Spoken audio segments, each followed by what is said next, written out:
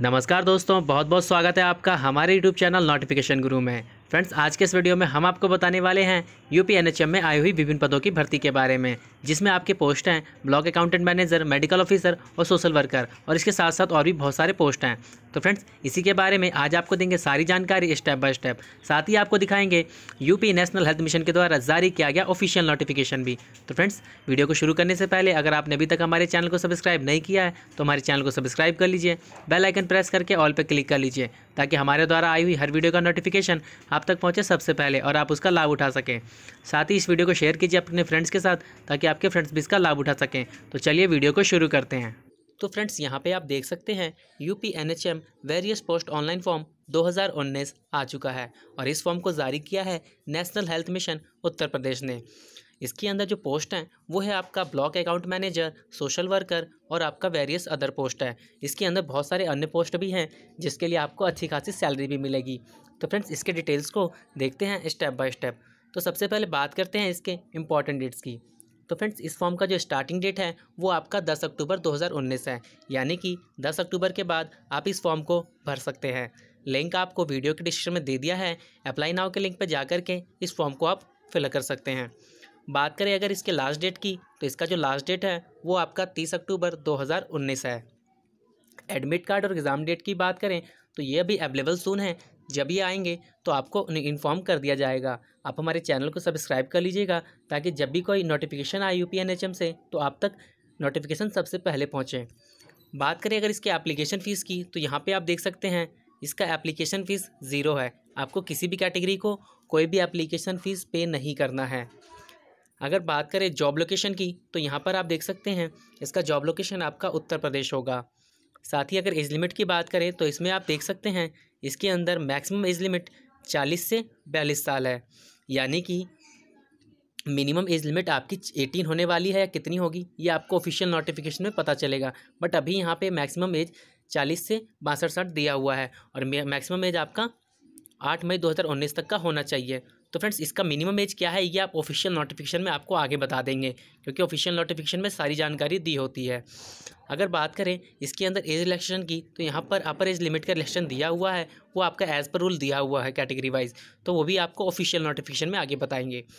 अगर number of post की बात करें तो इसके अंदर एक हज़ार चार सौ पच्चीस पोस्ट है फ्रेंड्स, बहुत ही ज़्यादा मात्रा में पोस्ट है यूपी एनएचएम के अंदर।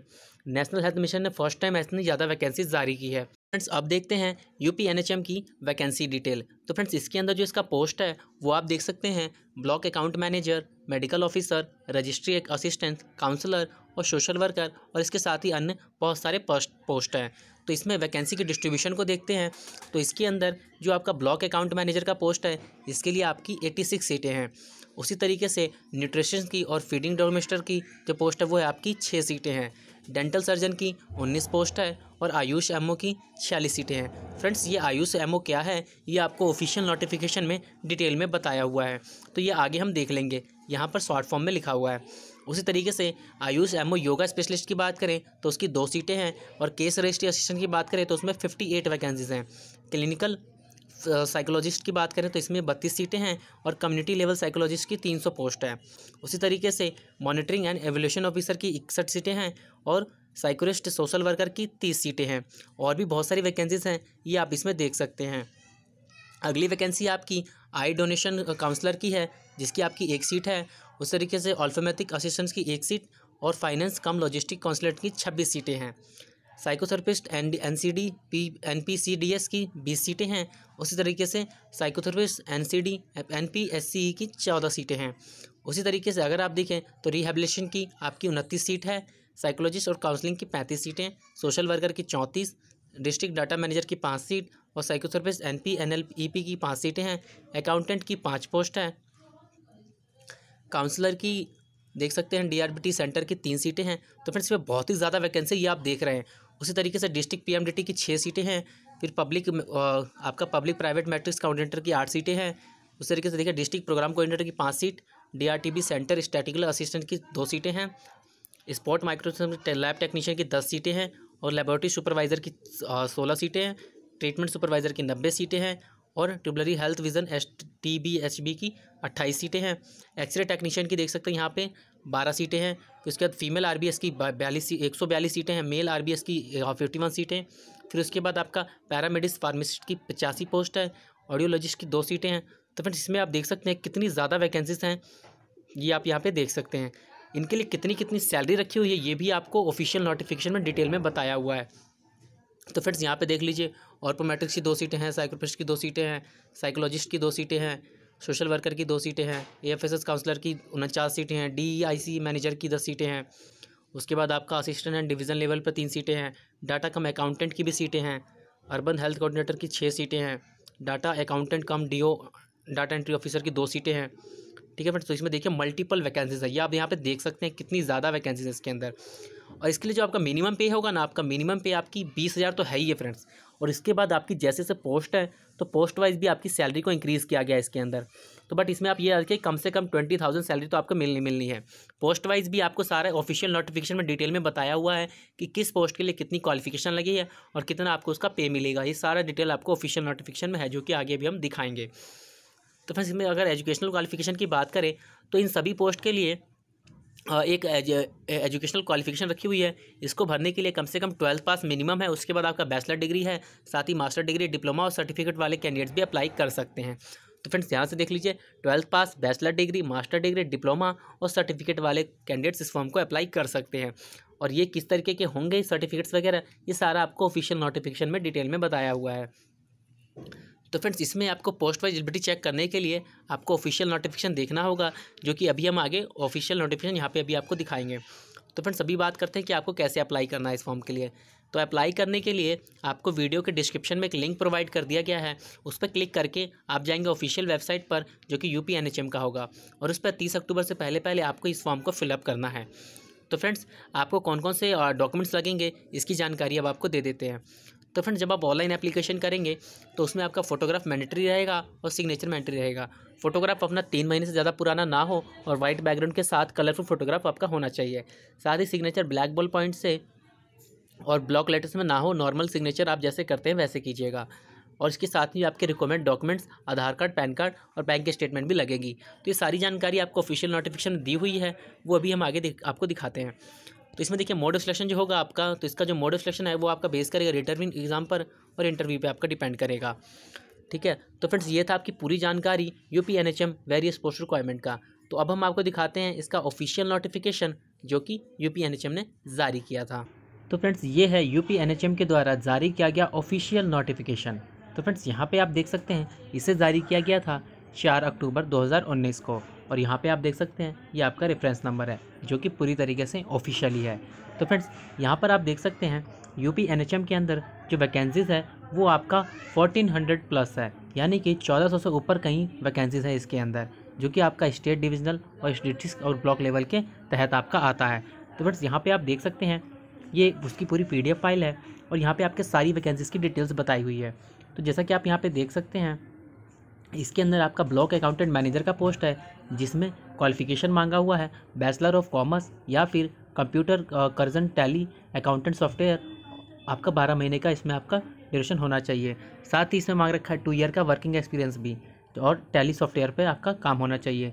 तो यहाँ पर आप देख सकते हैं टोटल वैकेंसीज आपकी एट्टी सिक्स है और कैटेगरी वाइज को डिवाइड किया हुआ है। और इसका जो आपका पे लेवल होगा, बाईस हज़ार तीन सौ पच्चीस होगा।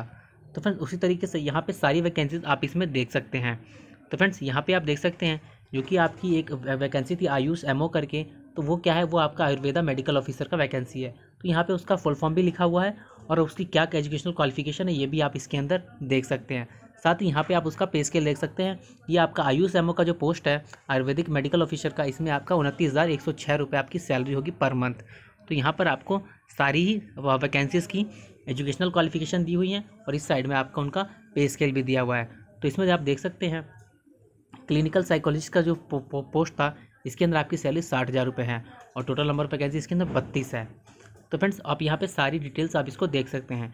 इसका लिंक आपको वीडियो के डिस्क्रिप्शन में दे दिया गया है इसको डाउनलोड करके आप अच्छे से आप जिस पोस्ट के लिए अप्लाई करना चाहें उसकी सारी जानकारी को पढ़ लीजिएगा और आप इस फॉर्म को भर लीजिएगा ठीक है? तो इसके अंदर मिनिमम सैलरी आपकी बीस हज़ार के करीब में है ही है आप यहाँ पर देख सकते हैं ठीक है? सारी जानकारी इसके अंदर प्रोवाइड की गई है। तो फ्रेंड्स, अब हम देखते हैं इसकी कुछ और डिटेल्स जो कि आपके लिए बहुत ही ज़रूरी होने वाली है। तो फ्रेंड्स, इसको डाउनलोड कर लीजिएगा और इसको पढ़ लीजिएगा। तो फ्रेंड्स, यहाँ पे देख लीजिए, यहाँ पे जो ऑनलाइन सबमिशन का जो डेट आपको बताया था, दस अक्टूबर से आपके इसका फॉर्म चालू होगा और लास्ट डेट आपकी तीस अक्टूबर है। यानी कि तीस अक्टूबर रात के बारह बजे तक आपको इस फॉर्म को भर लेना है। साथ ही यहाँ पे जो आपका सिलेक्शन प्रोसीजर होगा, वो आपका रिटर्न एग्ज़ाम और इंटरव्यू के ऊपर बेस होगा। तो यहाँ पे आप देख सकते हैं, आपका सिलेक्शन प्रोसीजर यहाँ पे बताया हुआ है। तो इसके अंदर कम से कम जो अनरिजर्व कैटेगरी के कैंडिडेट्स हैं, उनको थर्टी थ्री परसेंट मार्क्स लाने बहुत ज़रूरी है आपके रिटर्न टेस्ट में। वहीं ओबीसी के लिए तीस परसेंट और एस सी के लिए चौबीस परसेंट साथ ही जो आपके कट ऑफ़ जो होने वाला है तो इसमें आप देख सकते हैं, इसका जो पर्सनल इंटरव्यू के बाद आपका कट ऑफ़ लगेगा, ठीक है? शॉर्ट लिस्टेड किए जाएँगे कैंडिडेट्स को। तो बहुत ही अच्छे से आप प्रिपरेशन कीजिएगा, आपको इसका सिलेबस भी आगे प्रोवाइड कर देंगे। चैनल को सब्सक्राइब कर लीजिए, ताकि जब भी कोई अपडेट आएगा एन से तो हम आप तक जल्द से जल्द उसे पहुँचा सकें। तो फ्रेंड्स यहाँ पे आपको सारी चीज़ें दे रखी है और यहाँ पे आपको दिया हुआ नीचे में इंस्ट्रक्शन दे रखी है किस तरीके से आपको एप्लीकेशन फॉर्म फिल करना है। तो एप्लीकेशन फॉर्म फिल करने के लिए वीडियो के डिस्क्रिप्शन में आपको लिंक प्रोवाइड कर दिया गया है। उस पर क्लिक करके आप जाएँगे official website of U P N H M पे, ठीक है? या फिर आप जा सकते हैं S M S dot co dot in पर भी। और वहाँ जाने के बाद आपको न्यू रजिस्ट्रेशन पर क्लिक करना होगा और रजिस्ट्रेशन फॉर्म को भरना होगा। अगर आप ऑलरेडी रजिस्टर्ड हैं तो ऑलरेडी रजिस्टर्ड करने के बाद आगे लॉगिन आईडी और पासवर्ड डाल करके अपने फॉर्म को कंप्लीट करेंगे। ये सारी जानकारी आपको इसमें दे रखा है। तो फ्रेंड्स यहाँ पे जब आप फॉर्म को फिलअप करेंगे तो आपको एक यहाँ पे प्रोसेस फ्लो का डायग्राम दे रखा है। तो यहाँ पे आप देख सकते हैं कि पहले आपको अपनी पर्सनल डिटेल भरनी पड़ेगी, उसके बाद क्वालिफिकेशन फिर आपका एक्सपीरियंस फिर आपका इमेजेस एंड डॉक्यूमेंट और फिर उसके बाद फाइनल सबमिशन करना पड़ेगा। तो ये आपका पूरा प्रोसेस बताया हुआ है कि किस किस तरीके से आपको अपना फॉर्म को फिलअप करना है। तो फ्रेंड्स यहाँ पे कुछ जनरल इंस्ट्रक्शन वगैरह भी दे रखी हैं तो इसे भी आप पढ़ लीजिएगा। तो उम्मीद करता हूँ आपको ये वीडियो पसंद आई होगी। अगर आपका कोई क्वेरी हो, कोई आपको प्रॉब्लम हो, कुछ समझ में नहीं आ रहा हो तो आप हमें कमेंट कर सकते हैं। हम आपके कमेंट का रिप्लाई दे देंगे। पूरा सेशन आपको प्रोवाइड कर देंगे ठीक है? तो अभी के लिए मुझे इजाज़त दीजिए। मैं फिर मिलूँगा एक नई वैकेंसी के साथ। अभी के लिए गुड बाय